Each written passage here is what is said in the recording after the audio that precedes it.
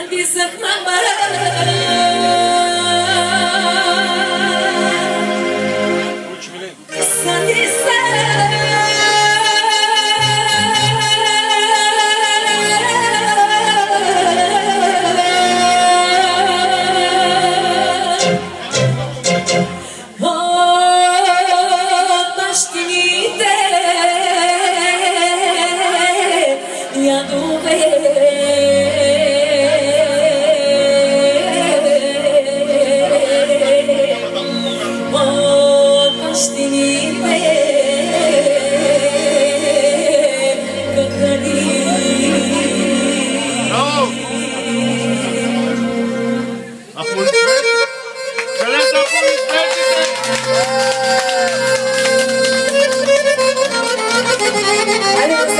Звучи Милен специално за цялата компания.